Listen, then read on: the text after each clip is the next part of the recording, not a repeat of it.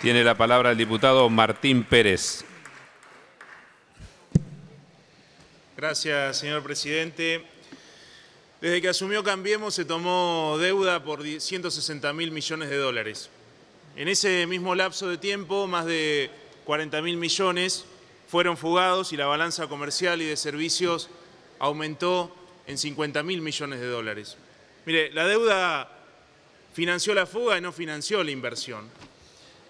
Cambiemos asumió con un país desendeudado y tuvo la oportunidad histórica de apostar al desarrollo de la Argentina, de mejorar lo que se había hecho, de invertir en la economía real, de crear mejor trabajo, en definitiva, de cumplir con la promesa de campaña que había hecho el presidente Mauricio Macri. Pero no, en dos años y medio estamos golpeando la puerta del Fondo Monetario Internacional. Y terminamos en el Fondo Monetario Internacional porque el gobierno de Cambiemos ya golpeó todas las ventanillas de deuda externa que existen en el planeta.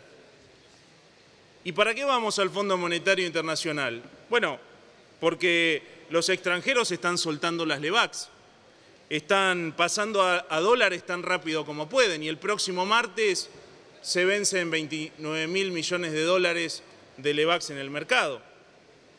Por esto acudimos al Fondo Monetario Internacional, señor presidente, para seguir financiando la fuga, para seguir financiando y sosteniendo el modelo de especulación financiera de este gobierno.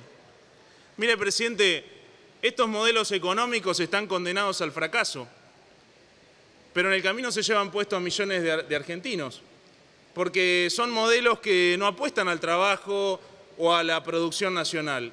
Son modelos que, por ejemplo, como en mi provincia, se han llevado puestos más de 7.000 puestos de trabajo de la industria electrónica y estos son datos oficiales, son datos del CIPA, son datos del ANSES, no es un invento.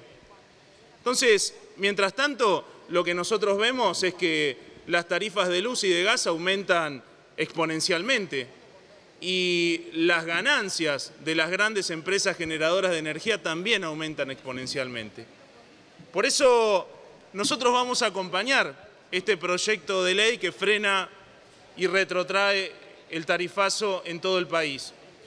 Y lo vamos a acompañar porque estamos preocupados, señor presidente, estamos preocupados y estamos indignados, porque mientras nosotros estamos tratando este proyecto, el ministro Duhovne está en Washington firmando un acuerdo con el Fondo Monetario Internacional.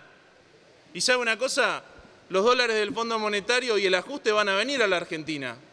Lo que no va a venir a la Argentina son los dólares de Aranguren, los dólares de Caputo y los dólares del gabinete de Mauricio Macri. Muchas gracias. Gracias, señor diputado.